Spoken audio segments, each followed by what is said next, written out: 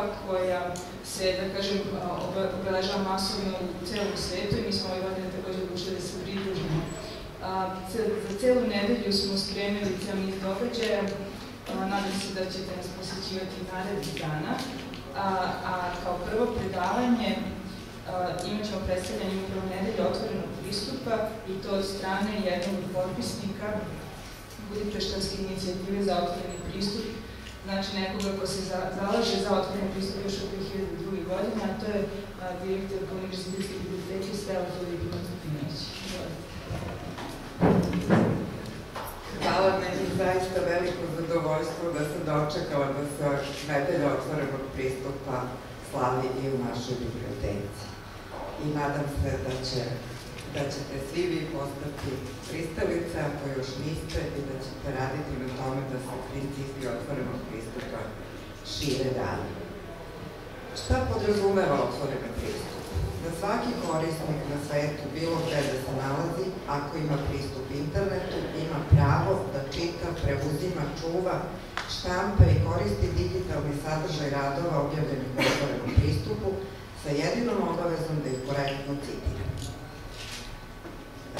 U današnje vreme situacija u naučnom izdavaštvu je prilično najblaže rečeno neobična. Ova karikatura vam to može dočarati dosta jasno. U svakom slučaju projekta priča o tome da istraživačke institucije i istraživači su finansirani sredstvima budžetskih korisnika, svih budžetskih korisnika svih zemalja sveta, a na tome zarađuju isključivo komercijalni izdavači. Kolike su to zarade, možete da vidite ovde. Ja nisam našla u otvorenom pristupu novije podatke, ali se ništa nije promenilo. To je znači 2007. 2008. godine od svih legalnih kompanija na svetu najveći profit godišnji prijavio je Springer, 37%. Vidite da ima veći čak i od Microsofta. Da ne pričam o Disneyu, Walmartu i raznim drugim za koje su svi čuli, a nisu svesni da u stvari oni imaju manji profit godišnji nego što imaju Springer, Elsevier i tako dalje.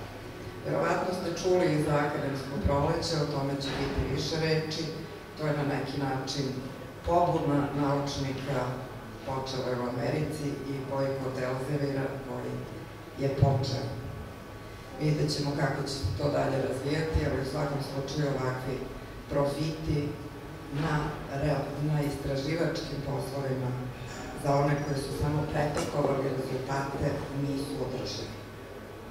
Znači, ova absurdna situacija dovela je do pokreta za otvoreni pristup. On se prvo pojavio u Americi, zatim je krenuo da se širi po celom svetu, Podsticaj su posebno dali širenje interneta koje omogućava brz protok informacija, porast cena naučnih časopisa koje svake godine za nekoliko procenata podižu svoje cene, iako je, da kažemo, troškovi proizvodnje su u stvari sve manji i manji, i smanjenje budžeta svetskih biblioteka, tako da sad već i u bibliotekama tipa Harvardskog univerziteta se pojavljuje problem nabavke strane periodike u elektronskom obliku.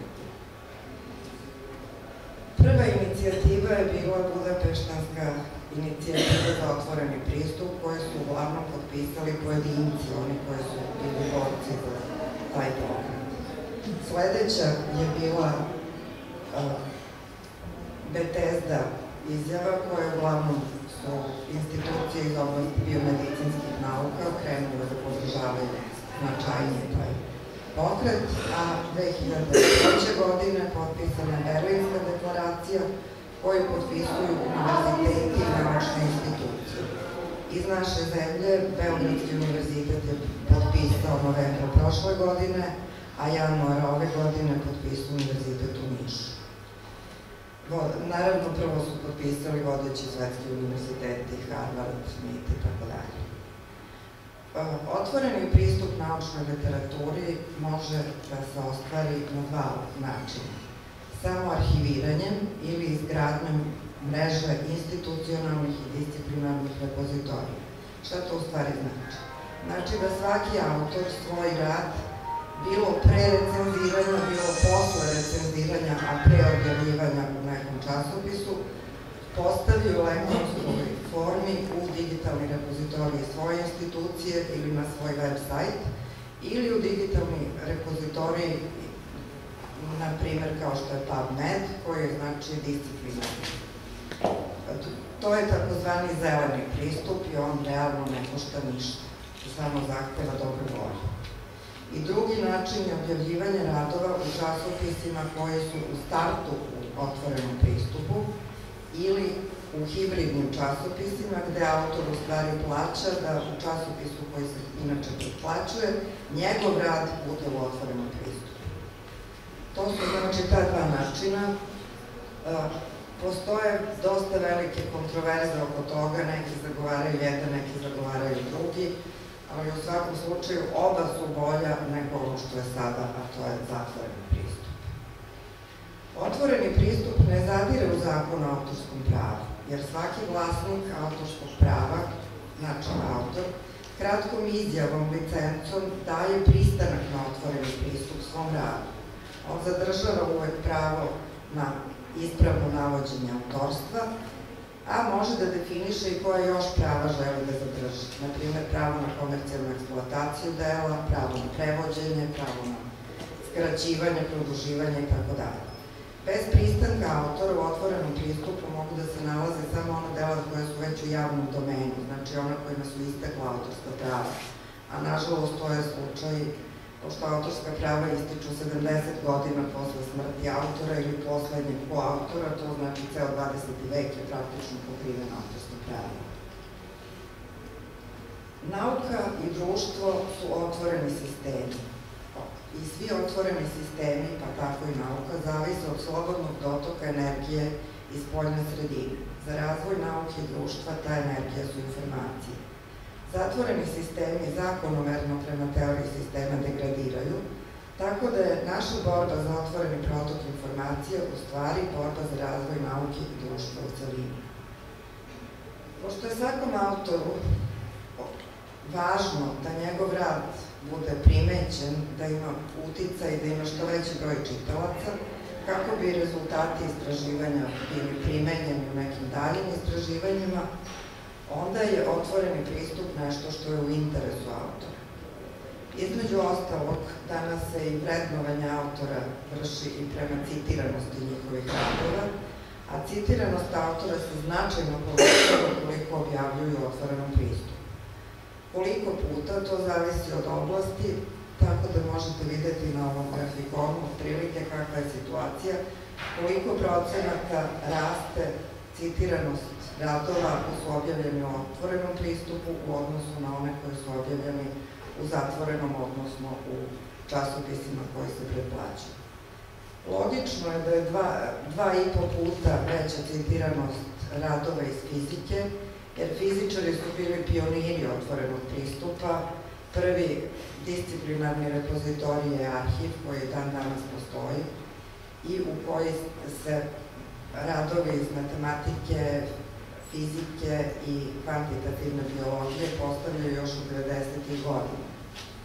Interesantno je da u stvari taj repozitorij možemo da kažemo da predstavlja neki začetak promene načina komuniciranja u nauci, jer ima dosta naučnika iz ovih oblasti koji svoje radove praktično samo postavljaju u taj repozitorij i uopšte ih ne objavljuju Na primer, najčuveniji primer je Grigori Perelman, koji je 2006. godine, godine dobio Felcovu medalju za matematiku, to je ekvivalent Nobelovoj nagradi. On je svoje radove na osnovu kojih je dobio tu medalju objavio isključivo u arhivu, znači on ih je samo arhivirao u tom repozitoriju i nisu nikad objavljeni ni u kom časopisu. Eto, to bi bilo ono što ja mislim da je najkraće rečeno smisla otvorenog pristupa, a koleginica će vam dalje ispričati o tome šta smo mi na tu temu radili i čemu se nadamo da će biti dalje. Svakom slučaju srećno nedelje otvorenog pristupa i nadam se da je ovo prva, ali ne i poslednja u biblioteci.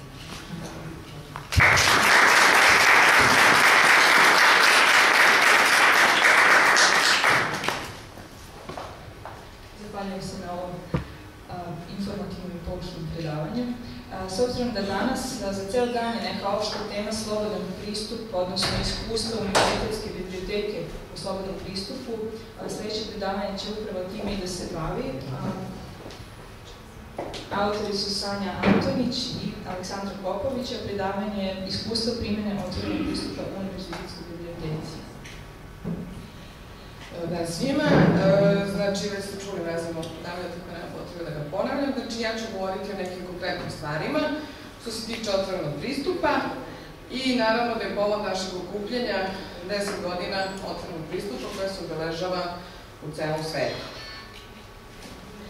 Putem sajta uh, Open Access Week uh, smo bili dosta u kontaktu sa ljudima širom sveta i jednostavno ovo je šesta godina kako se na neki način organizovano obeležava. Naravno, postoje mnogo brojne definicije Open Accessa. Uh, trenutno je recimo jedna od popularnijih i svakako da je, uh, uzeli smo je pre, sa zapravo predavanja Stevena Hanada jednog od rodonačelnika otvorenog pristupa. Takođe, mogu da napomenem da bar gore ću to lično ime, znači mi pratimo neke od rodonačelnika otvorenog pristupa, to su Peter Schubert, to je Jean-Claude Guédon, uh, i recimo Steven Harnad u tom predavanju, i kažem, ovo se dosta često pominje, napominje da je otvoren pristup besplatan, trenutan, stalan, online, e, pristup do recenziranih članaka u naučnim časopisima. Svakako da otvoreni pristup predstavlja i veliki dobitak za biblioteke, jer putem ovaj, korišćenja interneta i kompjutera, sama ličnost može da se obrazuje, tako da se usavrši disciplina koja je i tekako za nas bitna, a to je informacijona pismenost, i samim ti dolazi do razvoja celokupnog društva. E, na ovom slajdu otprilike je prikazan neki retrospektivan uh, prikaz zapravo razvoja open accessa od sadašnjeg vremena do neke 2003. godine. Međutim, ono što sam ja žela da naglasim, to je da je za nas, ili bar mene lično, bilo ovaj, veoma bitno ova 2005. godina, kada je održan seminar u, o citatnim indeksima u otvorenom pristupu. E, ja se dobro sećam, zaista, da smo tada imali mogućnost da uživo čujemo Guidona, kao što sam rekla, jedan od načelnika Open Accessa, i Timothy Bradija, uh, isto veliko stručnjaka sa univerziteta u Southamptonu. Um, to je delovalo tada prilično nemoguće, bar i meni, mislim, tada smo prvi put čuli otvornom pristupu, besplatnom pristupu naučnom znanju i tako dalje, međutim, ovaj, uh, to je bilo 2005. evo 7 godina kasnije, mogu da kažem da zaista je mnogo, mnogo toga urađeno uh, što se tiče otvornog pristupa i u našoj zemlji. Kao što znate, bit će reći o tome da Univerzitet u Beogradu naravno je pristupio i podržao i tekako otvoreni pristup, da se uspostavlja repozitorijum uh, Univerzitetu u Beogradu, u Univerzitetskoj biblioteci, I takođe su tekući projekti Doje Srbija, Kopson i Sindex, mislim da svi koristite i dovoljno, tako da je nepotrebno govoriti o tome. Što se tiče nekih konferencijskih aktivnosti, 2010. godine smo zapravo dobili poziv za konferenciju u Pragu, u forum, e, gde je, oni su uvijek prilično duhoviti što se tiče naziva tih sesija, e, naziv sesije je bio Open Access alternativa za loše vremena. E, naš rad se naravno ticao otvornog pristupa u razvijenim zemljama, odnosno u zemljom razvoju. I naravno smo svi na kraju te sesije zaključili da zapravo otvorni pristup nije samo alternativa, već put za koji se treba slediti i za koji se treba da, i da se bori. Sledeća konferencija koju bih izdvojila i koja je bila zaista sjajna, to je konferencija koja se održala ove godine u maju, uh, peta Beogradska konferencija o otvorenom pristupu. Uh, evo ga opet Steven Hanad, uh, čuli smo njegovo predavanje putem video linka. Međutim, uh, namjerno sam gore stavila adresu, odnosno link, tako da možete da poslušate predavanje u trajanju, o, njegovo predavanje je 30 minuta plus pitanje 45. zaista sjajno predavanje, naravno se tokom ovih 10 godina i tekako sam vršila teorije o otvorenom pristupu, tako da on govori o tom delu. Takođe, iznosi i mnoga iskustva širom sveta kojima on naravno ovaj, raspolaže. Tako da vam zaista preporučujem da preslušate predavanje, saznaćete mnogo novih stvari. Takođe ovo što, što je navedeno, on eksplicitno navodi da Harvard, koji spada naravno najbolje, ali i svakako najbogatije univerzitete, ne može da plati pristup za sve naučne aplikacije koje su mu potrebne. E, takođe moram da napomenu da su naši kolege Aleksandar Paplović i Adam Sofronijević imali zakoženo predavanje o nanopublikacijama, tako da ove, ovaj, ta konferencija zaista bila prava međunarodna konferencija da je bilo zaista mnogo, mnogo novih stvari. E sada što se tiče e, naše aktivnosti e, što se, e, pisanja radova. Ovo je jedan na neki način svež primer koji ide u prilog upravo zašto postoji otvoreni pristup zapravo nakon ovaj, dosta meseci rada uspeli smo, ne ispričat skraćenu verziju, uspeli smo da objavimo u Springeru rad i uh, jednostavno to, uh, videli smo da je ušlo u Springer bazu pre nekih mesec dana. Sve u redu do nivoa abstrakta, vidljivo je sve ikliče, neče abstrakt, auto i tako dalje, to je sve okej. E, napravit ću samo malo digresiju, pošto pretpostavljam da dosta ljudi baš iz sveta bibliotekarstva. Recenzija je bila dosta blaga što se tiče ta samog teksta. Međutim, ono što, zapravo najveći broj primjedova se odnosio na bibliografiju. Sada stil je bio Apple 5th edition, međutim, ovaj software mi je davao šesto izdanje. Tako da su najveće primedbe recenzenata zapravo bile zarez, tačka, dvotačka, Tako da će naredna aktivnost Odeljenja za naučne informacije biti zapravo pisanje bibliografije i korišćenje besplatnih softvera. Znači edukacije o tome. Tu smo imali zapravo najveći broj primjera. E sad, da se vratimo na sam otvoreni pristup, znači sve ovo je vidljivo, a ono što nije, to je da kada želite da dobijete PDF i mi kao autori i mnogi drugi ovaj, nismo videli zapravo, svoju verziju rada u Springeru koji je, da mi treba platimo 29,45 dolara, znači 25 dolara treba platimo da bi videli sopstveni rad. E, znači imamo tu čast da se dešava i mnogim autorima širom sveta, da ovaj sopstveni rad ne vidimo, da jednostavno na neki način je otuđen od nas i da ovaj, zbog toga zapravo i dolazi do o, sve veće i većeg širenja pokreta za otvoreni pristup. Naravno, da smo morali da potpišemo vrlo strog ugovor. Ovo nije naš ugovor, inače potpisuju sva tri autora, odnosno svi autori potpisuju ovaj ugovor, potrebno detaljno pročitati. E, ovde sad detaljno stoje mnoge stavke, međutim, o, o, o, potpisnik ovog ugovora ima prava da objavi rad na web sajtu i da ga stavi na repozitorijum svoje institucije. Mi nemamo ni ta prava, možemo samo da ga stavimo na web sajt, prema ugovoru koji smo mi potpisali. Znači, vrlo stog ugovor, tako da jednostavno uh, treba, ako ste u poziciji, čitati detaljno i detaljno proučiti naravno sve stavke samoga ugovora. Ovaj naš je zaista veoma restriktivan. Uh, u prilog tim profitima izda, uh, ovih monopolista, izdavača, Ovde su prikazane neki procenti tokom 2010. godine, gde je njihov profit, čuveni Elsevier, Springer, od 36, Wiley do 42 procenata. Znači da je industrija informacija jednostavno veoma moćna, čini mi se da mi u Srbiji baš i nismo svesni koliko zapravo tu ima novaca na neki način.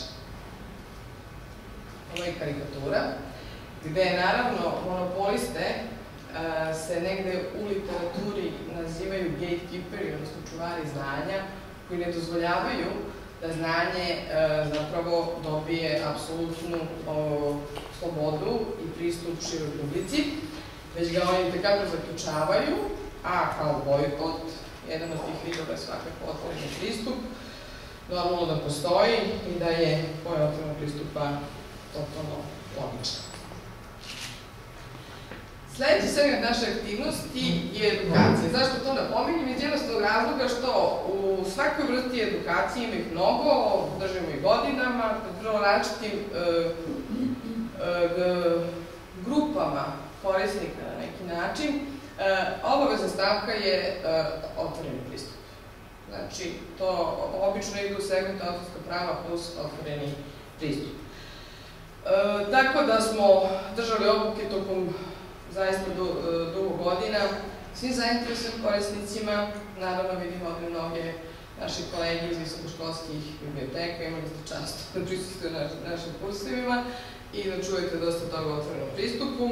Zatim srednjoškolcima, maturantima, posetiocima iz zemlje i inostranstva, da, matura sam pomenula, zatim svake srednje 12 imamo takođe predavanja i zapravo možda najzahtevnija su ove radionice za doktorante, stipendiste i prosvete i nauke, u trajanju od 6 časova, a takođe smo imali možda neobičajen malo vid aktivnosti i edukacija, a to je ovde datira, ne znam, neke 2005. čini mi se, da smo išli različite fakultete, različite institucije i držali predavanja ne samo doktoranima u poslednje vreme, znači ta čuvena tri e, školska časa, već i mnogim mladim istraživačima, a takođe predavačima i profesorima univerziteta. To je standardna praksa. Čak nam je prvi klub bio isključivo profesor, posvećen profesorima univerziteta.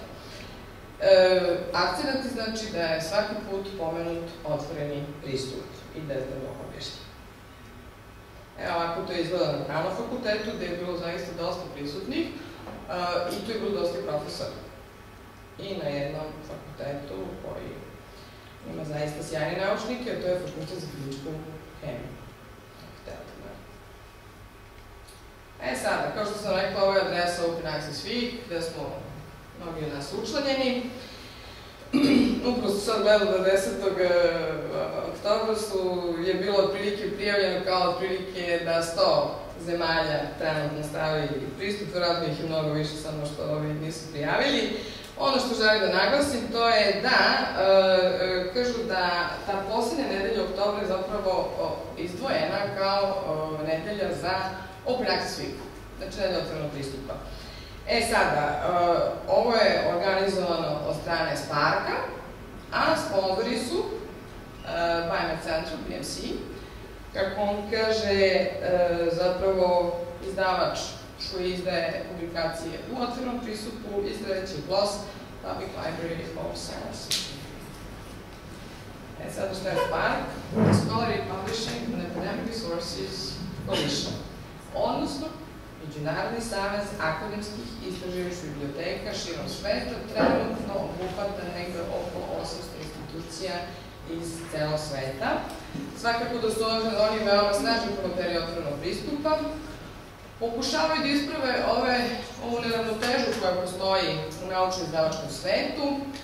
Između ostalo pokušavaju da promene komunikaciju nauci koja postoje, i takođe trude se da smanje finansijski pritisak na same biblioteke. 2001. godine na inicijativu samog Sparka i Libera, veoma značajne asocijacije, to je zapravo Savez istraživačkih biblioteka, došlo do stvaranja Spark Europe, Ovo je njihov sajt, gde do detalja možete vidjeti da oni kako potržavaju tribe deklaraciju, otvore repozitorijom i mnogo, mnogo drugih aktivnosti koji se tiču Open Accessa.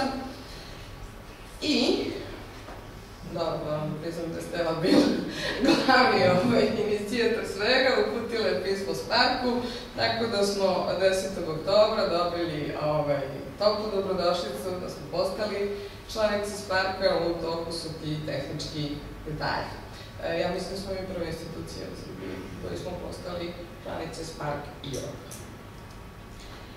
E sada, malo o izdavačkim kućama, odnosno PLOS-u. E, PLOS, pa neko može da pomisli da to nisu kvalitetni časopisi, međutim ove činjenice govore upravo suprotno, to je kao što vidite da PLOS izdaje časopisi koji imaju veoma e, jake faktore, Međutim, kao što znamo, to ne znači ništa sve do trenutka dok ne vidite poziciju u određenoj kategoriji.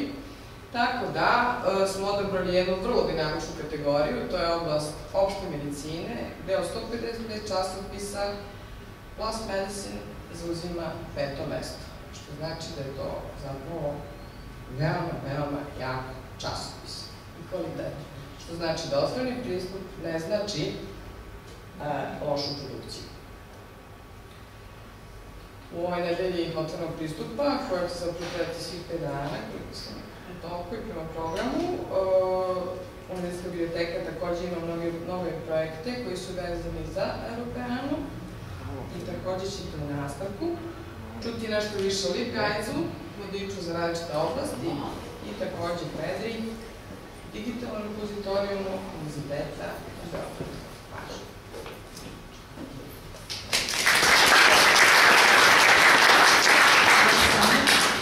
Pre nego što pređemo na Petru i na imaćemo priliku da od Nikole Pavlovića čujemo nešto o otvorenom pristupu iz jednog sasvim drugog ugla, odnosno on će govoriti o integrisanim pretrazi izbora u slobodnom pristupu na novom sajtu Univerzitetske biblioteke.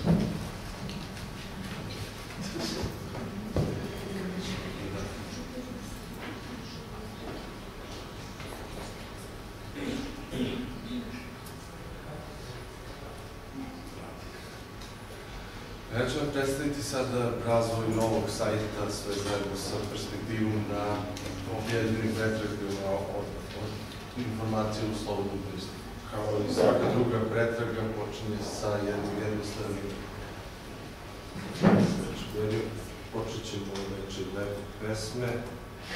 U brzoj pretrazi se dobijaju rezultati po pretru, koji su pretraženi po ključnim rečima. Kao što vidite, Rezultati su odlično trenutno odvoljeni u četiri kategorije, elektronski katalog, digitalna biblioteka, digital object identifier i the European Library. Vidite da su na brzoj pretrazi rezultati prikazani u četiri, četiri reda, trenutno digital object identifier i digitalno imaju samo po jedan rezultat sa ključnu reč pesme. A što se tiče napredne pretrage, ona se nalazi na odvojenim tabovima. Sad ću izgleda pretraga elektronskog kataloga koji ima svoje specifične parametre dodatne za naprednu pretragu, su pretrage po autoru, po godini, po jezicima, vrsti građe, naravno ređene po rezultatu po naslovu i broj rezultata koji se prikazuju. Možemo da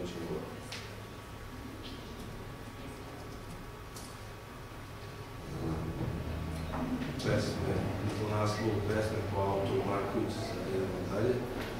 U biblioteci naravno nemamo trenutno mnogo, mnogo zapisa, pa nemamo ni pesme, ali imamo primjer pretragu po ključnoj reći Vuk, tu se sad pojavili, ovo su rukopisi iz zaostavšteni Sidone Sekulić. Svi rezultati se mogu poređati po naslovu, autoru, godini, može se povećati broj rezultata u slučaju da imamo više rezultata, se po određenoj zbirci. E, ista situacija je i sa pretragom DOI-a, Digital Object Identifier radova. Ovde vidimo samo pet radova koji imaju naslovu VUK, a ono što je najzanimljivije je pretraga Evropske biblioteke, koja je zasnovana na principu agre, agre, nego već prikupljenih podataka iz različitih biblioteka i ovo je eksperimentalna verzija pretrage Evropske biblioteke. Predviđena je za integrisanje pretrage u sajtove korisnika. Kao što vidite, možete filtrirati rezultate pretrage po različitim tipovima zapisa. Najzanimljivije tip zapisa je thumbnail available, pošto se jel da vidi sličica. Možemo filtrirati po jezicima. Ključnu reč Vuk na srpskom imamo Miloš Obrenović i Narodne pesme. To se direktno se otvara link na dokument koji se nalazi na ovoj je nemačka biblioteka.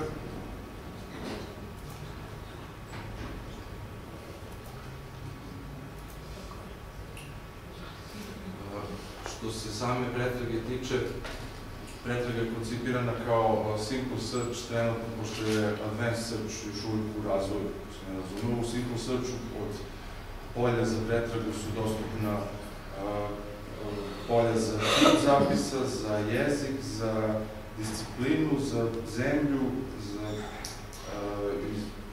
biblioteku članicu tela i za i po. Tako da vrlo je lako jednostavno mogu da se prelistaju sve publikacije koje su na koji su iz određene zemlje ili iz određene biblioteke ili čak iz određene kolekcije, što je u slučaju univerzitetske biblioteke izdali i sad vidite rezultate, ovo su svi, svi rezultati koji se trenutno nalaze u telu iz univerzitetske biblioteke, možete listati po kolekcijama, odvojenim, naravno pretraga u okviru ovoga, ali da mi priča nešto na sam drugo. Pa, svaka od ovih pretraga ima svoje specifične parametre koji su vezani za za, tu, za taj tip baze. Svi podaci su uglavnom prikupljeni preko OAI servera, osim tel pretrage koja je direktna real-time pretraga koja se dobija rezultata sa njihovog servera, a pretraga elektronskog kataloga je zasnovana na Z3950 protokolu. Kako.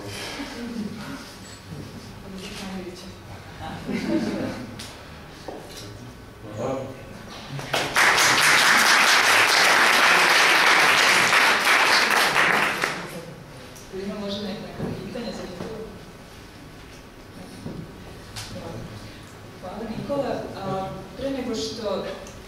počnemo sa pauzom kratkom, a samo želim da najavim sledeći blog koji će trajati nekih maksimalno 45 minuta, bit će predstavljene neke novosti iz Fedre, odnosno digitalnog repozitorijuma, zatim LibGuides, vodič kroz naučne oblasti koji, su, koji je kreirao tim univerzitetske biblioteke i na kraju Yahoo Pipes i Waldenspad, nešto za šta pretpostavljam da niste čuli. Tako da ostanite još sa nama, sada ide kratka pauza, 15 minuta, pa sedite. Dragi koleginice i kolege, hvala što niste pauze. Sada nastavljamo sa programom. Dragana Stolić će da nam predstavi digitalni arhiv Univerziteta u Beogradu. Dobar dan svima. Dakle, u ovoj prezentaciji bit će dati jedan kratak pregled osnovnih karakteristika i funkcionalnosti sistema FEDRA, odnosno digitalnog repozitorija Univerzitetu u Beogradu, sa posebnim osvetom na ono što FEDRA omogućava, to je otvoreni pristup informacijama. I na kraju će biti samo par reći o nekim novinama vezanim za ovaj, za ovaj sistem. Jer mi u stvari u FEDRI govorimo već više godinu dana, tačnije FEDRA je započela svoj rad u našoj biblioteci, odnosno na Univerzitetu u Beogradu u martu 2011. godine. I sad samo par podsjećanja da, da ovaj, samo tih par osnovnih činjenica. Dakle, reč je o sistemu koji je u ovom obliku razvijen na Univerzitetu u Beču, koji je partner, naš partner na Tempus projektu, novi bibliotečki servisi na Univerzitetu Zapadnog Balkana, čiji je nosilac naša biblioteka. Jedan od ciljeva toga projekta jeste stvaranje mreže univerzitetskih repozitorijuma u univerzitetskim centrima Srbije, Bosne i e, Crne Gore. Ti repozitorijumi zajedno sa drugim korisnicima sistema FEDRA u Austriji e, i u recimo Italiji, Padovi, formiraju jedan konzorcijum koji se može videti na sajtu FEDRA.org. Međutim, ono što je važno za naš repozitorijum, ovaj Beogradski, jeste podrška univerziteta i tu je već bilo pomenuto i treba opet istaći da je dakle u novembru rektor potpisao prednosnu deklaraciju o otvorenom pristupu naučnom znanju, e, čime se naša biblioteka pridružila, to je naš univerzitet se pridružio toj grupi od 340 univerziteta u svetu, koje podržavaju, dakle, otvoreni pristup. I u skladu s ovom odlukom, Univerzitet u Beogradu i uspostavlja ovaj digitalni repozitorijum, Ovo je u ovom saopštenju u koje je ovaj, navedeno, stoji da se zapravo nastavnicima i saradnicima univerziteta preporučuje dakle, da svoje rade objavljuju u onim časopisima koji omogućavaju da preprint rada bude objavljen u repozitorijumu. To je čisto kao, dakle, jedna vrlo važna institucionalna podrška. Dakle, šta je namena repozitorijuma? E, namena je da omogući nastavnom osobu univerziteta da na jednom mestu deponuje, da dakle, arhivira svoje naučne i stručne radove. To ne moraju biti samo završeni radovi. Dakle, to je sistem koji omogućava da i nepublikovani radovi budu na ovaj način publikovani. Dakle, to mogu biti i skice, i planovi, i nacrti, i dokumenta, i e, skripta i tako dalje. Dakle, samo onaj materijal koji, recimo, nastaje kao proizvod rada na univerzitetu, ako i ne može na drugačiji način da se učini e, javno dostupnim, dakle, da, da bude praktično publikovan. E, ideja je da nastavnici i saradnici svoje rade objavljuju, to je pohranjuju sami. Dakle, ovaj repozitorij se zasebe na principu samo arhiviranje o kome je takođe već bilo reči. Dakle, preko svog korisničkog imena oni uđu u sistem i svoj rad pohrane. E, kako se dobija korisničko ime? Zapravo vrlo jednostavno. Na sajtu Fedre imate jedan link registraciju novih korisnika koji vodi do jednog formulara za registraciju i neki od vas sigurno su videli, to znaju za, za ovaj način registracije jer su se tako prijavili. Istini za volju, uh, u ovaj, čisto ovako kao napomena, u sistemu već postoje neka korisnička imena iz prostog razloga što je inkorporirana baza e-KRIS u onom obliku kojem je bila 2011. godine. To je čisto učinjeno kao, kao ispomoć. Ali bez obzira da li se korisnik prijavljaju kao novi preko registracije ili možda već postoji njemu ime u sistemu, taj nalog mora da bude aktiviran a korisnik obavešten da je dakle, nalog aktivan i da može da počne da radi u sistemu. Kažem, kolegi bibliotekari su se recimo prijavljivali na ovaj način, putem registracije i mogli su da vide da to staista nije nikakav problem, da je to zapravo najmanji problem u celoj priči, a da se izgleda mnogo veći problem da zaista počnu da koriste sistem, odnosno da ulaze i da pohranjuju svoje radove, pa evo ja ovom prilikom bih vas pozvala dakle sve oni koji već imaju korisničke imena, da ovaj, iskoriste mogućnosti sistema, a oni koji nemaju, da, ovaj, da mogu da se dotira.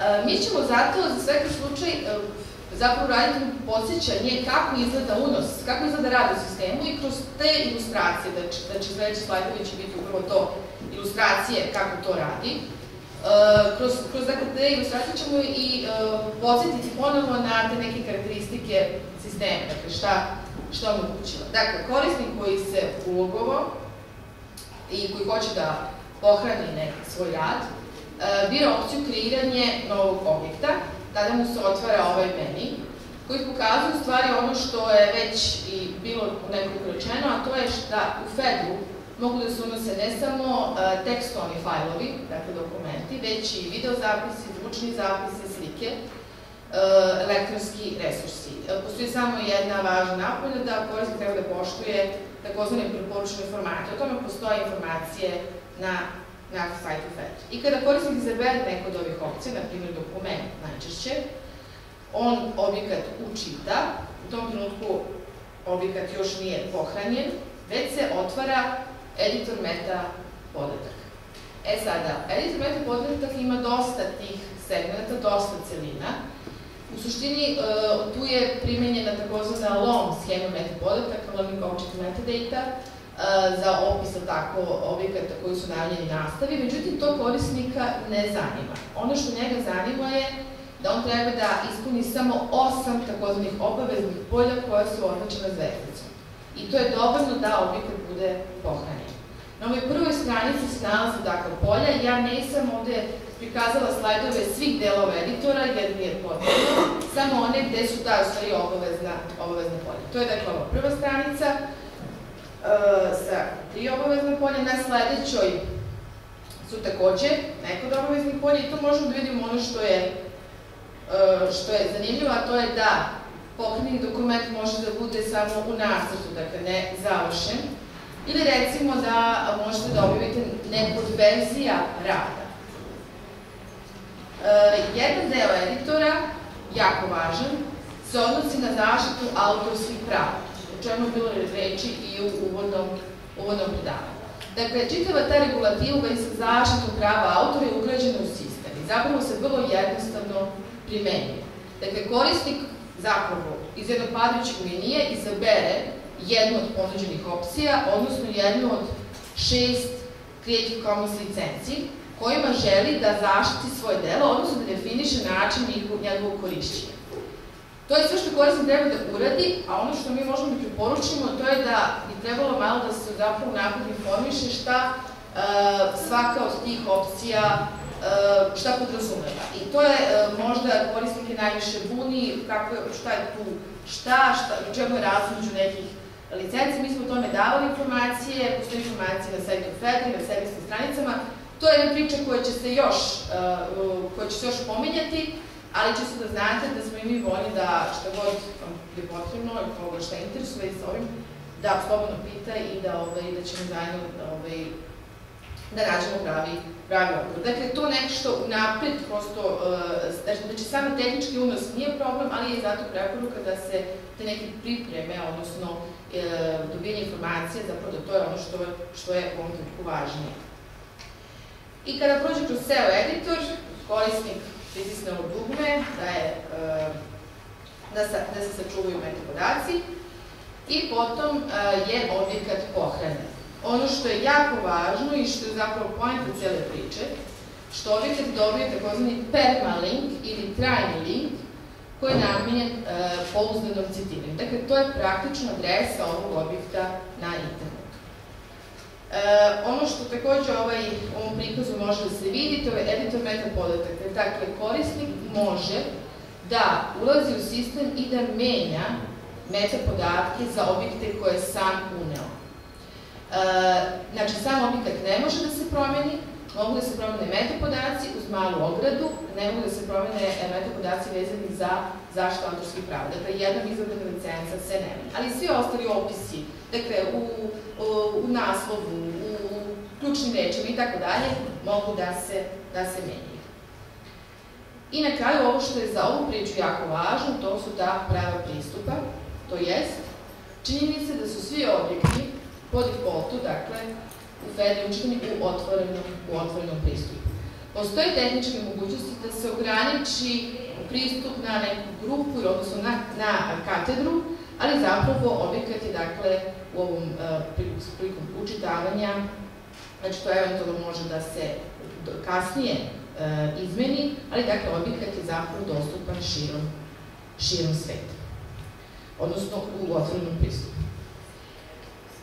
I za sam kraj, samo par informacija, osnovnih podataka o jednom novom sistemu, uh, koji je dakle, dakle ponavljam sasvim nov, a to je sistem e-teze Univerzitetu u Beogradu. Na uh, sajtu FEDRE, na, na sajtu Univerzitetske biblioteke možete vidjeti link do ovog sistema. On je namenjen pohranjivanju, pretraživanju i preuzimanju doktorskih disertacija koje su odvijene na Univerzitetu u Beogradu.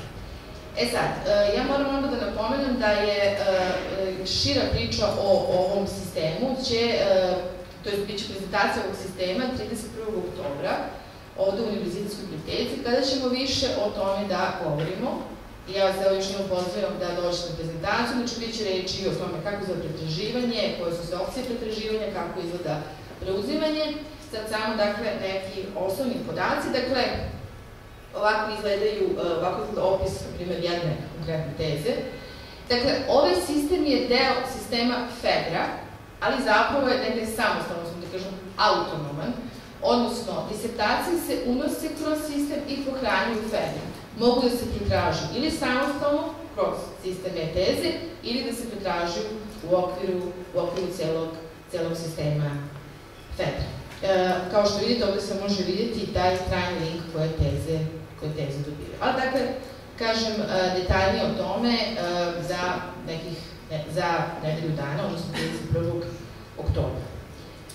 Uh, to je sada sve. Ja verujem da mnogi od vas imaju pitanja. Mislim, mi smo imali, kolegi bibliotekari su tu, mi smo imali prezentacije, imali smo edukacije, tu ima dosta da se kaže. Ako imate pitanja, predlažem neku pauzi. Uh, ili slobodno, evo znate mail, imate mailove i na stranici Fedre, uh, Dakle, slobodno što god vas zanima, pitajte. Hvala.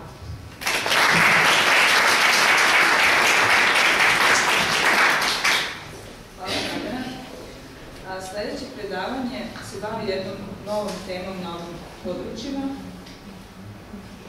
a zove se Lip Guides, odnosno vodič univerzitetske biblioteke kroz naučne oblasti, koji će da predstavi Vesna Vusan. Da li imaju neko video? Dobro, pošto nije tu, ja ću onda da preuzem. Šalim se, naravno, ja sam Vesna Vuksan, za one koji nisam imala čast da upoznam lično. Radim u univerzitetskoj biblioteci, a što se tiče Lip Guidesa, tu radim kao administrator sistema. Sad recite mi, da li je neko od vas, osim bibliotekara koji rade na Lip Guidesu, čuo za ovaj sistem? Nike? Kako ste čuli?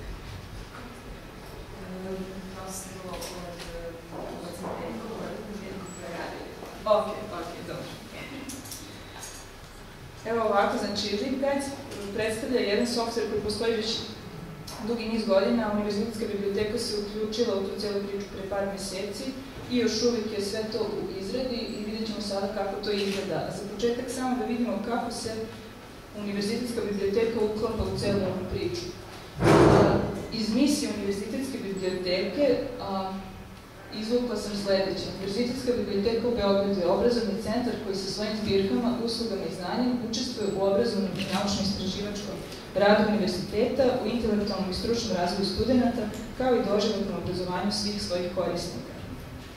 Kraće rečeno, iz misije jedne daleke biblioteke, naši studenti i fakultet nisu smetnja. Oni su razlog zbog kog mi postojimo. Sad ovako, kada su u pitanju naši korisnici, ono što svi znamo, nije važno u kojoj biblioteci radimo, a to je da se njihove potrebe stalno menjaju, njihove navike se menjaju i mi moramo da se tome prilagođavamo kako znamo i umemo. Znači, nekada su tražili knjige od nas, danas traže filmove, a sutra će možda tražiti da im izvlačimo iz nekih izvora kredibilne, pouzdane sajtove, linkove i tako dalje. U stvari, to se dešava već već Sada, a, kada pomislimo na načine na koje mi to radimo uopšte, a, jedan od načina je naravno a, servis pita bibliotekara koji manje više ima svaka biblioteka u nekom obliku. A, zatim postoje a, stranice u okviru sajta biblioteke koje imaju recimo preporučene linkove. Ali ako bismo pokušali da zamislimo kako sve to izgleda nekako objedinjeno, nekako pretraživo, nekako savršeno, odgovor je LibGuides. Sad da vidimo šta je LibGuides.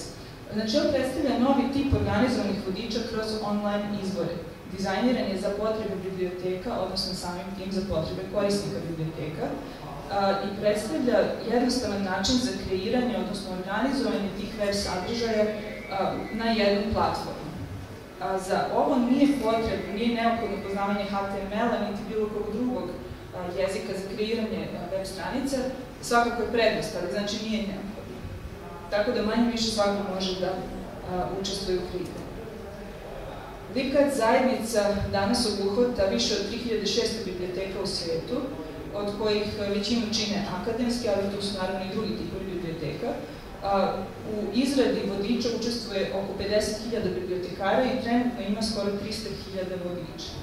A, sajt zajednice je libguides.com i tu može da se vidi spisak znači, svih biblioteka koji učestvuju u ovome. Tu smo naravno i mi, pa vas svakako pozivam da pogledate. Koji su prednosti LibGuidesa? Ovo su neke od njih. Znači ono što je negde ključno i vrlo bitno jeste da je ceo sistem pretraživ. Šta to znači? Sve što se organizuje, znači svi linkovi, svi mogući izvori i sadržaje su apsolutno pretraživi po ključnim rečima. Zatim interaktivnost koja je izuzetno važna danas, već duže vreme naravno, u tom online svetu, sistematičnost u organizaciji informacija, intuitivnost u korišćenju od strane bibliotekara i korisnika, personalizacija, saradnja na nekoliko nivoa, raznovrsni sadržaj, kompatibilnost sa raznim drugim softverima i programima i jednostavno praćenje korišćenja. E sad da vidimo kako to izgleda. Ovako izgleda naša pristupna strana. Svaka biblioteka ima mogućnost da prilagodi tu stranu, da kažem, nekom svom vizualnom identitetu. Ovo je nešto probno što smo uradili i verujem da ćemo malo tu još nešto na tome da radimo, ali u svakom slučaju, kao što vidite, na sredini ovde imamo onaj čuveni tag cloud, odnosno polje sa ključnim rečima koji se najviše koriste. Ovde Ovo je samo deo strane, znači ovde je spisak vodiča koji može da se sortira prema popularnosti ili prema a, svežini izdanja. A, s desne strane imamo naše bibliotekare, malo pre ste imali priliku da vidite i uživo. To je slika koja se menja, znači nije uvek isti bibliotekar, već svi koji učestvuju u izradi, prosto svaki put kad se pristupi strani, promeni se slika. Pori za pretrebu je u samom vrhu ovde, s desne strane postoji opcija za e-mail obaveštenja. I ono što je vrlo bitno jeste da je tim univerzitetske biblioteke preveo celu platformu na srpski jezik. Kada je u pitanju interaktivnost, šta to znači? Znači, pretriga po ključnim rečima, kao što sam rekla. Ono što je isto vrlo bitno, svaki vodič u svakom svom segmentu ima mogućnost da korisnik a, ostavi neki komentar. Zatim može da oceni pomoću čuvenih žutih zvezdica, što je vrlo, vrlo bitno. A, takođe, ukoliko bibliotekar kreira, recimo, vodič i navede desetak linkova, a korisnik zna da postoji još nekih pet zaista dobrih, on ima pravo da to predloži bibliotekaru, to naravno ne ide direktno u sistem, već to bibliotekar ne odobri, ne ide, ali je vrlo uh, korisno. Zatim moguće je um, uneti tu takođe opciju direktnog četa sa bibliotekarom, obaveštenja e-mailom može da prima u zavisnosti od oblasti koja ga zanima, odnosno ako mu se sviđa kako neki konkretno bibliotekar radi svoj posao, može da izabere da svaki put kad taj bibliotekar objavi nešto novo, da on dobije obaveštenje. A, ta interaktivnost recimo ovako izgleda ovde, ovo je jedan od vodiča, ovde imamo to polje pošaljite link, zatim postoji opcija podeliti sa prijateljima na manje više svim društvenim mrežama i uh, ovde je opcija za komentare i neke, da kažem, ocene nekih određenih segmenta tog vodiča. A, kada je u pitanju preglednost, svaki, evo vidite se sad, ovaj, svaki vodič ima jako lepo raspoređene ove tabove, odnosno kartice i u svakom trenutku korisnik zna gde se nalazi i gde se još a, može da izgleda. Kada su u pitanju sadržaje, odnosno mediji koji mogu da se uključe u LibGuides, to zaista podrazumeva sve i svašta što vam padne na pamet. Pored e, klasičnog teksta, slike, tu su video zapisi, zatim ove interaktivne ankete, RSS, postoje takozvani bogati rich linkovi koji podrazumevaju da klasičnih plavo podvučenih linkova, vi imate isto i opis o čemu se tu radi. Tako da korisnik kada dođe čak ne mora da klikne na link da vidi da li ga zanima, već jednostavno tu već ima taj opis. A, bilo koje vrste dokumenta mogu tu da se postavljaju i takođe za one naprednije korisnike kada su u pitanju bibliotekari, mislim, a, mogu da se ubacuju različite HTML skripte i slično, što može ovako da bude prozirno. I ono što je isto bitno jeste da je 100% prilagođeno za sve popularnije mobilne uređaje. Evo ovde možete vidjeti na primjeru kako to izgleda. Znači sa leve strane imamo klasičan tekst, na sredini imamo video zapis, ovo su klasični linkovi, a ovako izgledaju ovi rich linkovi, jedna od opcija. Znači imamo ovde link i isto opis o čemu se tu radi. Kada je u pitanju saradnje, rekla sam da postoji na nekoliko nivoa. Šta to znači? Ako počnemo od toga kako su uopšte bibliotekari ove biblioteke naučili da koriste ovaj sistem, sve je počelo od jednog bibliotekara koji je naučio, pa je prenao na drugog, na trećeg i tako, tako dalje, tako da danas mi imamo ukupno 11 otvorenih naloga na ovom sistemu i aktivnih, e, kažem, šest bibliotekara koji rade u izradi prezentacija, ostalo su neka, neka administratorska zaduženja. A, takođe, svaki vodič može da se kreira, može jedan autor da ga kreira, naravno može da se uključi i više autora i to se vidi na svakom vodiču. Ono što je vrlo korisno, cela ona zajednica koju sam malo pripomenula ogromna, funkcioniše tako da ukoliko ja recimo vidim da je neki bibliotekar sa MIT-a napravio sjajan vodič kroz neku naučnu oblast jako mi se sviđa da ja ne bih ponovo radila to isto, ja tražim odobrenje da preuzmem kompletan vodič i ubacim ga u naš sistem. I to je nešto što a, takođe jako dobro funkcioniše. A, naravno, koliko taj bibliotekar nešto ažurira i promeni, kod mene se to automatski menja, što je vrlo zgodno. Stalno se organizuju webinari za dodatne edukacije, zatim tu su blogovi, konsultacije, tehnička podrška od strane Libgajca. Zašto je Libgajc takođe bitan? Vidljivost biblioteke, nešto čemu svaka biblioteka teži da pojača, da poveća, da poboljša kada je u pitanju javno mnjenje. Prvo, videli ste da svaki bibliotekar ima svoju sliku, ima svoj lični kontakt, i to stvara neku određenu vezu sa korisnikom, znači korisnik, korisnik ne gleda samo u slova ili neki prazan, da kažem, ekran, već zna sa kim razgovara to je jako važno. Takođe, kada je tehnička strana u pitanju, ovaj sistem može da se integriši u Facebook i Twitter, a, postoje ovi widgeti, odnosno prozori koji možete da stavite na svaki, bilo sajt, bilo blog, šta god da želite, što to znači? Ako se nešto objavljuje na samom sistemu, taj prozor automatski vuče podatke i ažurira i postavlja šta je novo, šta je popularno i tako. Znači, vrlo, vrlo zgodno. I kao što sam rekla, svaki vodič, odnosno čak i svaki segment vodiča može da se podeli na bilo koju društvenu mrežu.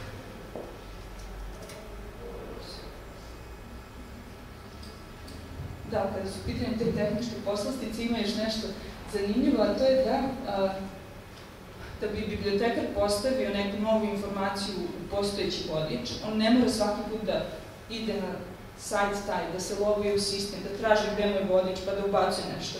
Već jednostavno dok razgleda internet, dok se nalazi po različitim sajtovima u momentu kada ugleda nešto interesantno, na samom brauzeru postoji dugme koje se zove Post to LibGuides. Jednostavno samo klikne na njega i onda dobije prozor mali pomoću kog to vrlo, vrlo brzo reši. Daleko brže nego da mora da se loguje Uh, ono što je isto vrlo bitno je zamislite takav sistem koji vremenom sve više i više raste. Mi sada imamo, ja mislim, 10, vodiča, vodiča kroz 10 naučnih oblasti.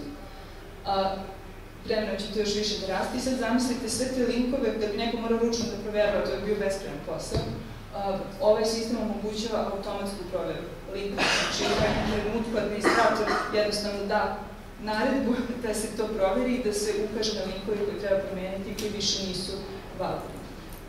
Sistem takođe omogućava pretragu kataloga biblioteke iz samog Librajca. Ono što je jako bitno za kraj jeste praćenje korišćenja. Mislim, zašto nešto radimo ako ne možemo da pratimo da li to dobro radimo, da li se to koristi i tako dalje. Libgajc ima statistiku koja je već ugrađena u sistem i uh, omogućava praćenje po određenim vodičima ili linkovima, koliko puta šta kliknuto ili nije i tako dalje, a moguće integraciji sa Google Analytics ko to više voli. Ovo je adresa na kojoj se nalazi, nalazi naši. Javlja se pozivam da pogledate, vrlo pažljivo, da nam nešto sugerišete ukoliko imate, date neki komentar. I to je to. Hvala vam.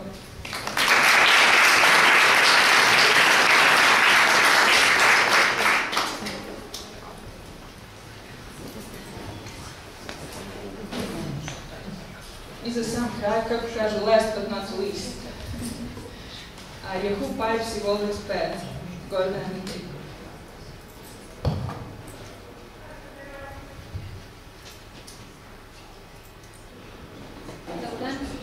ja sam Gordana Nedjeljko i ovom prilikom predstavit ću vam dva alata za upravljanje podacima koje se nalaze na internetu.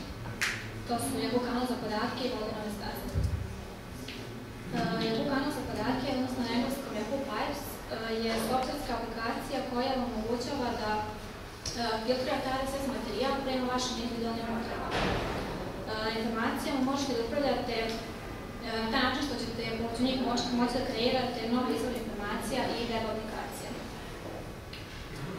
Samo ću kratko reći šta je to RSS tehnologija na koja se zasnije Yahoo Pipe. RSS je skraćeno od Really Simple Syndication, i verovatno prepoznate po ovom zaštitnom narodnom znaku koji ima. RSS tehnologija je skup web formata koji omogućava da se sa određenih stranica koja se nalaze na internetu, sa određenih blogova prikupljaju podaci. RSS tehnologiju možete da koristite ako napravite nalog na nekom od RSS čitača ili agregatora i pravljanje tog naloga je potpuno besplatno. Sam Yahoo kanal za podatke izgleda ovako, ovo je njegova početna strana. E, na njoj možete videti tutorial o tome kako možete na lak način da napravite novi pipe. Ako želite da napravite novi kanal za podatke, potrebno je da kliknete na dugme Create a Pipe i kada to uradite dobit ćete ovaj ekran. Ovo je ta početna stranica samog editora u kojoj možete da radite sa podacima. Sa leve strane ovog plavo što vidite, to su različiti moduli koje možete koristiti da biste upravljali svojim podacima.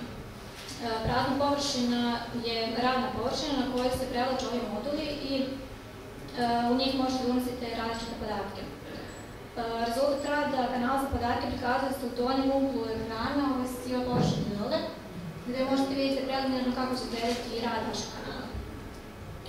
Ovo je jedan primjer koji smo napravili za ovu priliku, radi se o masivnim online kursevima i možda izgleda malo zastrašujuće kad ovo pogleda, ali u suštini nije. Koristili smo nekoliko modula, jedan od njih je Patch Feed, koji se koristi da bi se sa URL adresa određenih sajta za koje sam zainteresovani sadržaj preusmerio na Yahoo kanal za podatke.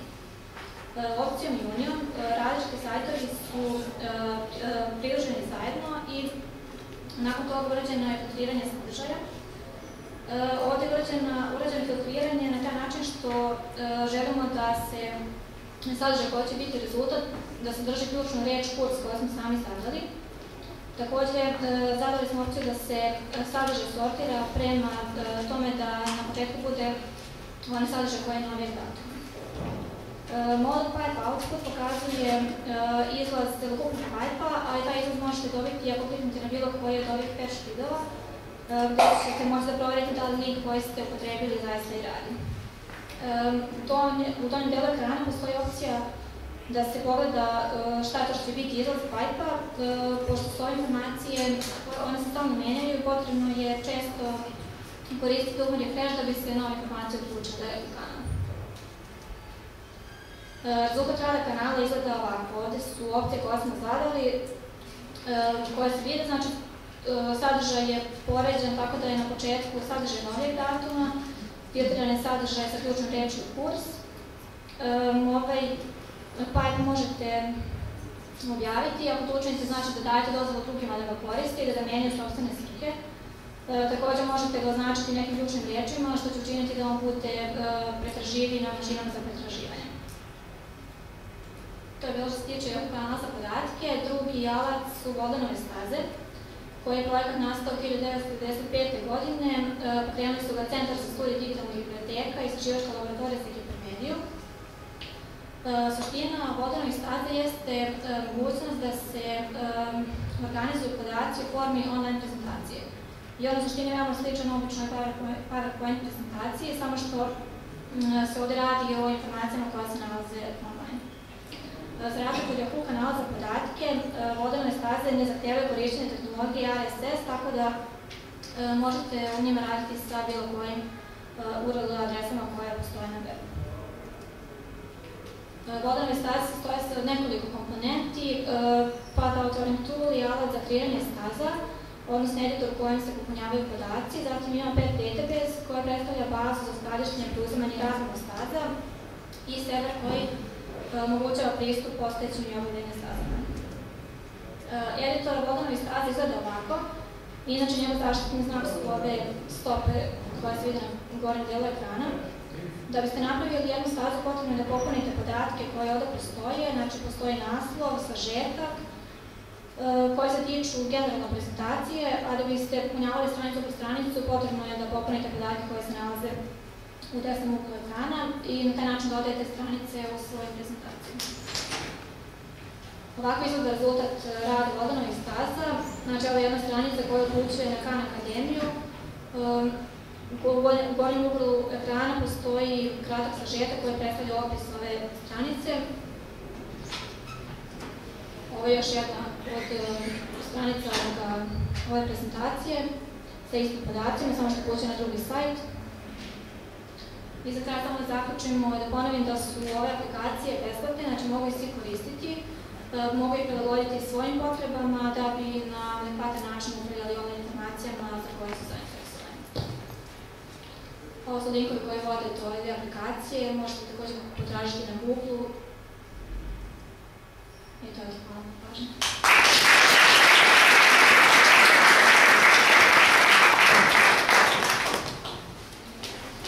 Hvala Gordana. Da li neko sada na kraju ima neke pitanje? Ja moram samo da prokomentarišem kako imamo sjajan tajming. Trebalo je da završimo u 13.45, a sad još nije. Iskoristit ću priliku samo da vas podsjetim da narednih nekoliko dana takođe dođete ovde. Sutra imamo jedno zanimljivo dešavanje, a tiče se dodele počasnih zvanja za one zaposlene na Univerzitetu u Beogradu koji predstavljaju fantastičan potencijal za promociju otvorenog pristupa. Na našem web sajtu, na Facebook stranici imate program i možete da vidite naravno o kome se radi, ali bih ja u svakom slučaju da dođete i sutra. Zatim u sredu i petak imamo otvoreni pristup za korisnike, odnosno koga god zanima kako izgledaju da kažem, te radionice, odnosno edukacije za korisnike koje biblioteka organizuje, dođite da vidite. A u četvrtak imamo možda jedan, ajde da kažem, najzanimljivih dana. A, Dolazi nam jedan predavač iz Tela, znači The European Library, i imamo još neke predavače iz a, Kopsana, zatim opet iz Univerzitetske biblioteke, Svetske banke, a, Creative Commons Srbija i iz Linux centra Srbije. Tako da vas pozivam naravno da pogledate ponovo program na našem sajtu i da dođete. Vidimo se.